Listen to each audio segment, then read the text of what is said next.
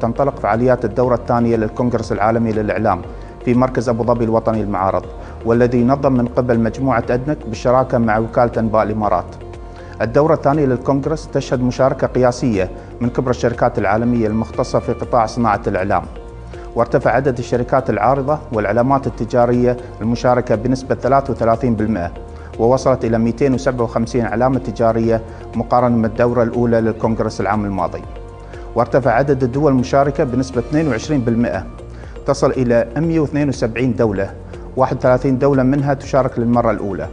في حين زادت المساحات الكلية للمعرض بنسبة 78% لتتجاوز 32 ألف متر مربع مقارنة بنسخة العام الماضي 18 ألف متر مربع.